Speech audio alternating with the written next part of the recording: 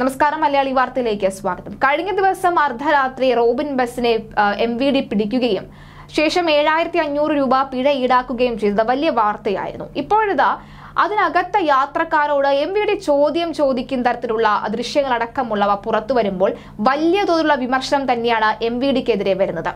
ആരാണ് M D ഇത്തരത്തിൽ യാത്രക്കാരെ ചോദ്യം ചെയ്യാൻ അടക്കമുള്ള ചോദ്യങ്ങളും ഉയരുകയാണ്. ഇത്തരത്തിൽ സമൂഹ മാധ്യമങ്ങൾ നിറഞ്ഞ ചില കമന്റുകൾ നോക്കുകയാണെങ്കിൽ ഇതൊരു ജനാധിപത്യ രാജ്യമാണെന്നും ഇന്ത്യയിലെ ഏതൊരു പൗരനും ഈ രാജ്യത്തിന്റെ ഏതൊരു അതിരിലേക്കും സ്വതന്ത്രമായി യാത്ര ചെയ്യാമെന്നുമുള്ള ഒരു മൗലിക അവകാശമുണ്ട്.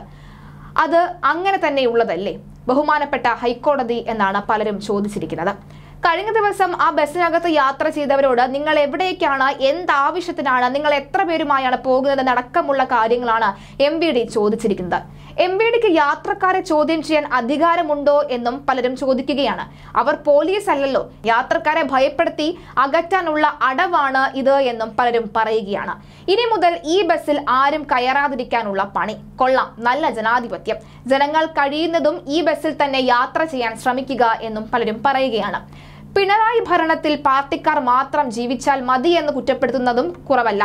ആ ബസ്സിൽ ഒരു ടിക്കറ്റ് കിട്ടാൻ വല്ല മാർഗവുമുണ്ടോ? എം വി ഡിയോട് രണ്ട് വർത്തമാനം പറയാനാണ് എന്നും പറയുന്നുണ്ട്. ഇവന്റെയൊക്കെ അനുവാദം വാങ്ങിയിട്ട് വേണോ? സാധാരണക്കാരന് യാത്ര ചെയ്യാൻ എന്ന് ചോദിക്കുന്നവരും കുറവല്ല. യാത്രക്കാർ പേടിച്ചു പോയി. കേരള പോലീസ് ഇപ്പോൾ ഇന്ത്യ പാക് ബോർഡർ ഡ്യൂട്ടിയിലാണെന്ന് തോന്നുന്നു.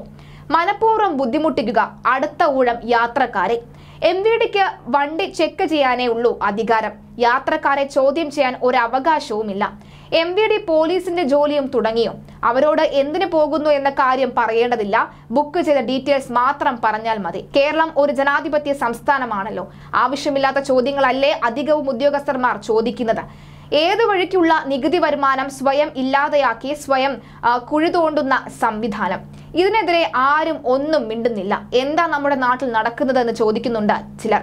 എന്തിനും പോകുന്ന എന്ന ചോദ്യത്തിന് എം ബി ഡിയോട് ഉത്തരം പറയേണ്ട യാതൊരു കാര്യവുമില്ല. എനിക്ക് സൗകര്യമുണ്ട് അതുകൊണ്ട് പോകുന്നു. ഒരു ബസ്സിൽ യാത്ര ചെയ്യുന്നവൻ ഇങ്ങനെ ഒപ്പിട്ട് കൊടുക്കേണ്ട കാര്യമില്ല. വേറെ ശത്രു രാജ്യത്തിന്റെ അതിർത്തി കടക്കുന്ന പോലെയാണ് പെരുമാറ്റം.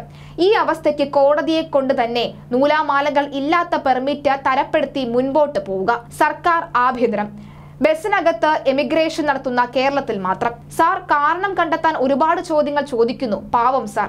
അത്തരത്തിൽ നിരവധി കമന്റുകളാണ് ഇപ്പോൾ എം ബി ഡിക്കെതിരെ ഉയരുന്നത്.